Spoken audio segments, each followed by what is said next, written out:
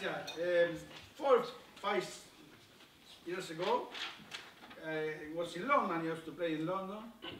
And I played in a small place like, like this in a bar, and at the same time was playing Rolling Stone in uh, Hyde Park. so I said, what can I do? and I composed a tango for Rolling Stone. Uh, the name is Fisuration.